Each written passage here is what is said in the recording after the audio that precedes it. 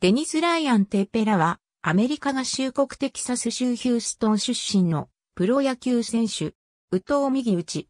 MLB のシカゴホワイトソックス所属。愛称はテップ。2009年の MLB ドラフト16巡目でトロントブルージェイズから指名され、プロ入り。契約後。参加のルーキー級、ガルフコーストリーグブルージェイズでプロデビュー。11試合に登板して3勝1敗。防御率1.72、42奪三振を記録した。2010年は A 級ランシングラグナッツでプレーし、24試合に登板して9勝6敗、防御率3.98、79奪三振を記録した。2011年は A 級ダニーデンブルージェイズでプレーし、27試合に登板して11勝6敗、防御率4.43、93奪三振を記録した。2012年は A 級ダニーデンと AA 級ニューハンプシャーフィッシャーキャッツでプレーし、2球団合計で21試合に登板して8勝6敗、防御率5.48、71奪三振を記録した。2013年は AA 級ニューハンプシャーでプレーし、33試合に登板して10勝8敗1セーブ、防御率4.50、105奪三振を記録した。2014年からはリリーフに転向。トリプル A 級バッファローバイソンズでプレーし、51試合に登板して7勝3敗2セーブ、防御率3.66、67奪三振を記録した。オフの11月20日に40人枠入りした。2015年は開幕をトリプル A 級バッファローで迎え、5月8日にメジャー初昇格した。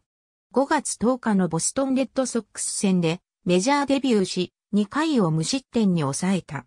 シーズン合計で32試合に登板して0勝2敗、1セーブ、防御率3.27、22奪三振を記録した。2016年もリリーフ専業で20試合に登板。試合数は前年より減ったが、防御率2.95、奪三振率8.8等の部門で前年より良い数値をマークし、成長の後をしっかりと残した。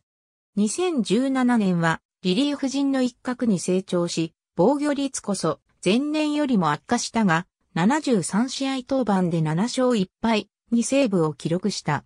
2018年は抑えのロベルト・オスーナにつなぐセットアップとして開幕を迎えた。6月30日に肘の炎症で故障者リストに入った。レギュラーシーズンでは68登板で64回と2、3回を投げ、5勝5敗、68奪三振を記録した。2019年は23試合に登板して0勝2敗、防御率4.98、14奪三振を記録した。オフの11月4日に DF となり、7日に FA となった。2019年12月20日にシカゴカブスと1年90万ドルの契約を結んだ。2020年は21試合に登板して0勝1敗、防御率3.92、31奪三振を記録した。オフの12月2日にノンテンダー FA となったが、2021年3月2日にカブスと1年80万ドルで再契約した。オプションとして最大95万ドルの出来高が含まれる。この年の MVP 投票で10位に1票入ったが、セントルイスカーチナルス版記者のリック・ハンメルがトレーターナーと間違って投票したものだという。2021年7月29日にベイリー・ホーンとのトレードでシカゴホワイトソックスへ移籍した。ありがとうございます。